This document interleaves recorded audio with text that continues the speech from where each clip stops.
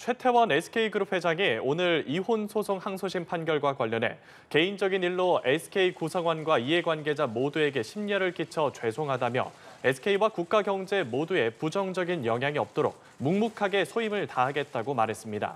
최 회장은 오늘 임시 SK 수펙스 추구 협의회에 참석해 사법부 판단을 존중해야 한다는 생각에 변함이 없지만 SK가 성장해온 역사를 부정한 이번 판결에는 유감을 표하지 않을 수 없다며 SK와 구성원 모두의 명예를 위해서라도 반드시 진실을 바로잡겠다고 밝혔습니다.